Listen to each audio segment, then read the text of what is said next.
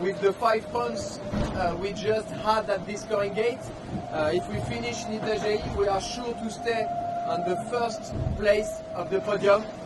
So today, the, the, the first goal of uh, Holcim PRB is to be in Itajaí with the, with the crew and the boat in good shape.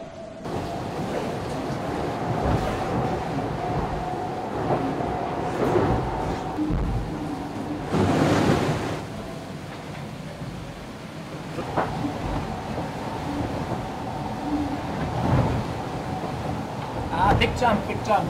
Sorry.